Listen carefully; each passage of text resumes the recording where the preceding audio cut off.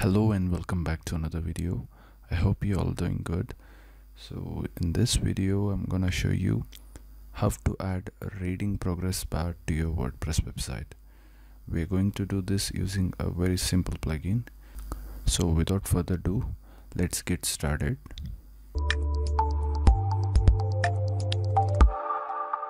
Alright we are inside our computer screen. Log into your wordpress dashboard and go to plugins select add new.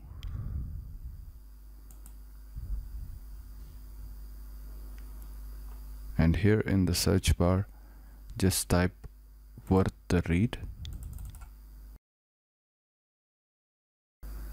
I will leave a link in description. You can download the plugin from there as well. And install this plugin by well done marketing as you can see it has more than 7000 active installations. Just go ahead and click on install now and wait until it is installed. And then click on activate.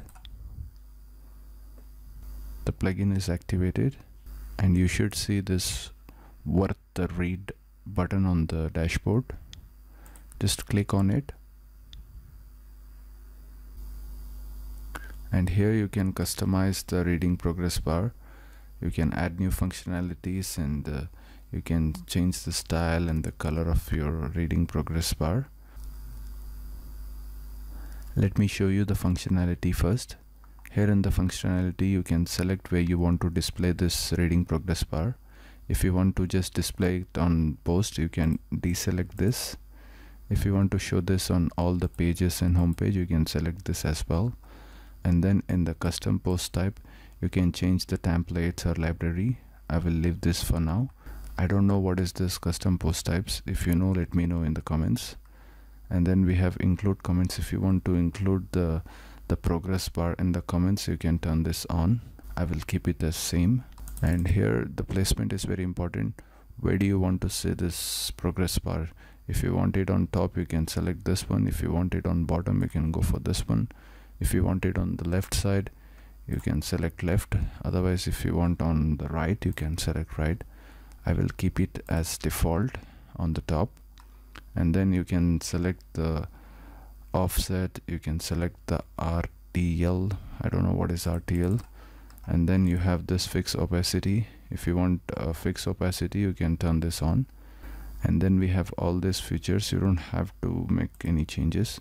Just click on save settings and here in the style window you can change the thickness. If you want a really thick progress bar you can change this to 40 or 30 I will keep this to 20 and then you can change the foreground color. I will change this to green. You can also change the foreground opacity. I will keep this as same and then you can change the background. If you want a transparent background you can check here. And the background will be transparent. If you want to make customization to the comments background you can do it from here. And you can play around with all these settings and do the customization.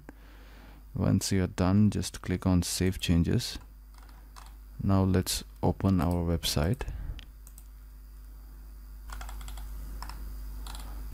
and here you can see as I scroll down we can see this progress bar going from left to right.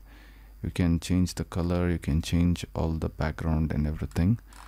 So that's how you add reading progress bar to your WordPress website. Just install this plugin called worth the read and open the plugin and do the customizations. If you want more videos on WordPress cPanel SEO you can explore my channel Thank you so much for watching. I will see you in the next one. Bye bye.